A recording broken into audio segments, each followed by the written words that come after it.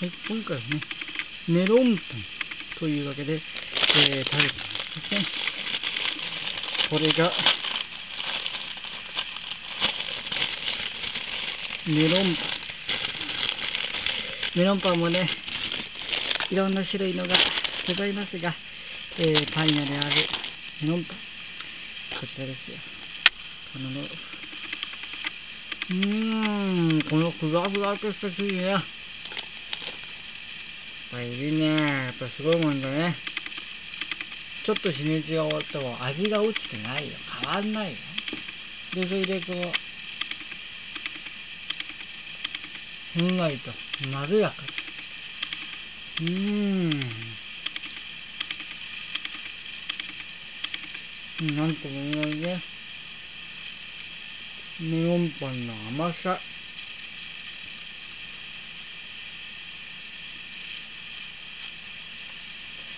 そして美味しさがいいね。やっぱりね、ああいう焼きたてジャパンとか、食べ物系のね、アニメとか見ると、食べ物ってどうやってできるんだろうみたいな、シンプルな話ね。で、それをプロの人たちがどうやって作ってんだ。例えばパンだったら、どうやってパン生地っていうものを作って、そしていろんな種類の食パンから菓子パンまで、2トンあるんだけども、常にそれが改良されてって、いろんな種類が出る。例えば食パンは一つだけじゃなくて、いろんな種類の食パンがあったり、コッペパンを一つとってもいろんな種類のコッペパンがある。メロンパンもまたしかり、クロワッサンもしっかり、アンパンもしかりで、ミントあるわけですよ。で、ああやってパンを作るの楽しそうだなと思うんだけど、その中で一体どうやってこう作っていくんだろうな。まあ誰かがね、例えば塩パンなんて言ってきたのも塩パンも、ね、夏バテとパン屋が売れ行きが落ちて、うん、あんまり売れないと。というでも夏の暑い時にね、パンなんか食べたら暑くてたまんねえやってるわけですよ。だからそれをこう塩をちょっと足すことによって、なんていうのかな、ちょっと涼しくなるというか、そういったところをやったのかと。パンもあるぐらいだから。やっぱり常にパン屋っていうのはね、全国に至るところにあっちこっちあるけども、その中で競争に打ち勝ち、そして競争に敗れたところは潰れてしまうという悲しいところもあるけども、まあ、そういった中でいろんなお店がね、やってるわけですよ。そういった中で、その、パンっていうのをね、食パンをこう、作るわけだけども、まあ、このメロンパンも、ふんわりとね。本来メロンパンってこうやって頭のところがさ、こうやって切ってあるわけよ。これだってちゃんと理由があるんですよね。でもああいう大逆立てジャパンとかああいうのを見たおかげでさ、あ、こういう風に作られてって、こういう風に、だからこんな切り込みをわざわざ入れる必要があるんだと。あとね。まあ、これ大変ですよ。うん。にしても相まってして自分が食べる分だったらまだいいんだけど人様にもてなす時ね。食べ物を人が来た時に人におもてなしをするとかそういう時にはもうやっぱりどうしても味が上品になきゃいけない。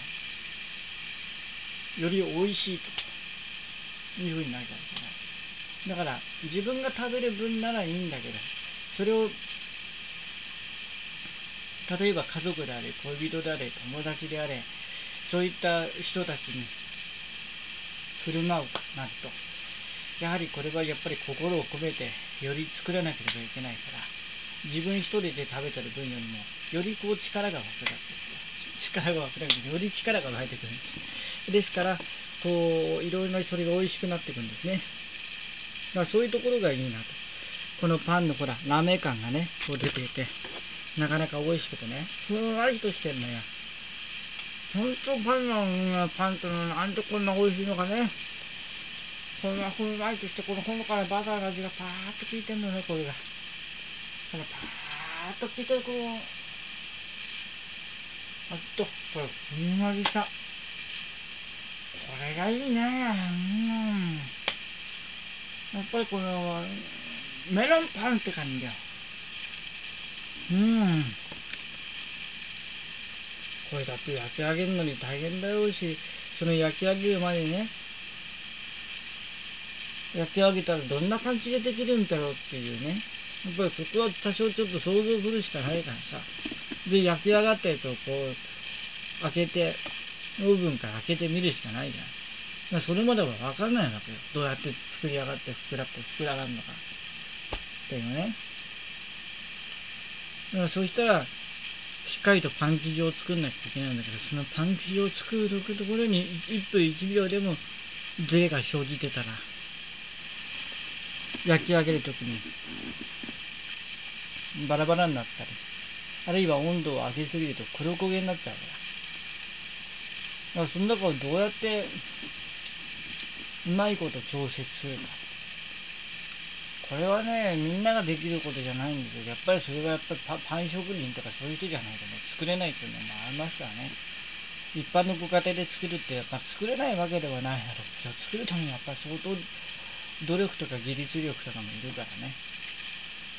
でもそうやってできていったものがね、自分の頭の中に描いたものと同じものがこうやってできてくるっていう、それが何よりやってて嬉しいなというふうに思いますよね。うん。私別にパン職人ではないけど、でもね、自分のイメージしたものが出来上がりました。あれがいいんですよ。だからなかなかいろんなね、パンという世界も、ね、いいなと思いますよ。メロンパンのふくらさ柔らかさ。この丸に見る美味しさね、ふんわりとした。で、これがまたパン屋によって違うんだわ、微妙に味がね。それがよくて、しかもそこのパン屋にしかないですって味があるわけです。うん、例えばメロンパンにしても、あんパン一つにとっても、そこのパン屋にしかないんだよね、この味はっていう。一体何を使ったらこんなに美味しくなるんだっていうのはだからそういうところがまた、その、で、パン屋独自の、あんまり他では聞いたこともないような独自のパンっていうのもあったりする。だから本当にあのジャパンっていうのはね、ね、元はジャパンってのは日本のパ日本にアンパンだと食パンだとかいろんな、ね、アンパンだとかフランスパンだとかそんなのあるのに、なんで日本にはパンがねえんだってけしからんってわけだ。だからそういうふうに、そんなのないんだったら、じゃあ作ってまえばいいっていう話だったけど。まあ実際ね、あれからもう庭の真似から20年ぐらい以上経ってるから、実際日本でもパンっていうものは、日本製のパンっていうかね、日本のお米を使ったパンとか、そういったのがあったって良さそうなんだけどね。うん。多分もう、もうできてるでしょうね、どっかに。どっかではあるでしょうね、実際。ただ、あんまり全体的にパンの種類見たときに、ジャパンなんてのはあんまり聞いたことないけども、あのー、まあ、どっかには突き詰めてる時があるはずよ。そのアニメを見たときに、あ、そういう人がいるんだったら、じゃあ自分も作ってみようかなってって、作った人がいるはずですよ。どっかに。うん、尊敬してるね。だそういうふうに、やっぱり、ちょっと受けるんだからなかなかそういう、そういうものを見た後で、食べるってのはね、全然違うんだよ。例えば、美味しんぼで紹介されたような天ぷらとかね、刺身そばとか、ああいったのを見た後に、あ、なるほど、こういう工程でそば、美味しいそばができるんだ。こういう工程で食べ物ってできるんだって分かった時に、それを後日買って、そのアニメを見終わった時に、それを買って食べるって全然違うの、美味しさが。うん、だから、なるほどなって、それはなんでかっていうと、作る工程が分かったから。うん。どういうふうに作ってくるのか。そうするとその作った味っていうのが不思議とわかるんですよ。別に職人でもないんだけど、あの、わかるのよね、そういうの見ると不思議と。わかんない人にはわかんないかもしれないけど、わかる人にはわかんない。